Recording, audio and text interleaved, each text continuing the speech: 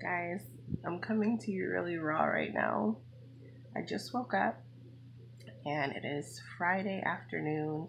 I slept a lot longer than I wanted to. Um, I got up at like 1, it's like 108.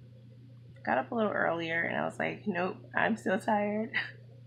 so I stayed in bed and I honestly had a really hard time getting up. Um, I don't know. I just I felt mentally exhausted. It was that kind of sleepy like I don't know. You know how like when you're a kid and you're in your car seat and you fall asleep and your parent picks you up or not even in your car seat, but your parent picks you up to bring you in the house and you're just dead tired. That was me this morning. Um it has been a busy couple of days, like super busy.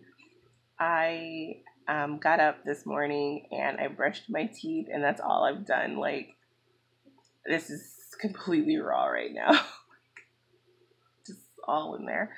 Um, so, yeah, today I am not doing anything. Like, typically I would be like, oh, I need to clean up and do. No, I'm not doing anything today. Um, I have Olam on the way. My husband just ran out to the store um, and I am currently reheating yummy leftovers from yesterday in the oven. And um, yeah, I am I'm just going to exist today. I am going to have more olam than I usually have. I am going to watch whatever seems interesting. I am going to stuff my face with dressing and mac and cheese and peach cobbler. Okay, I made peach cobbler this year and it was my first time ever making peach cobbler. I've never really been a fan of peach cobbler, but I had the oddest craving for it. Um, and I really just wanted the crust. That sounds weird. I want the peaches too, but I didn't even have any yet last night, yesterday. So I packed myself some and I'll probably have that later.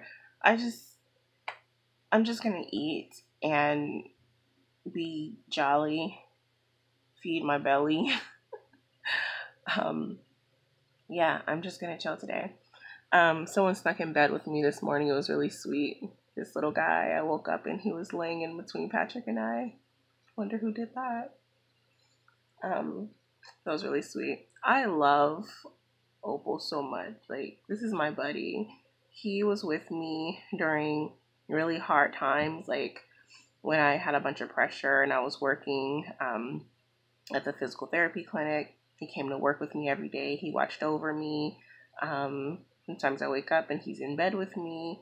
This is just, this is my buddy. I am a big kid and I have a bunch of stuffed animals that my husband got me over the years. This little guy came from nowhere. My husband didn't get him.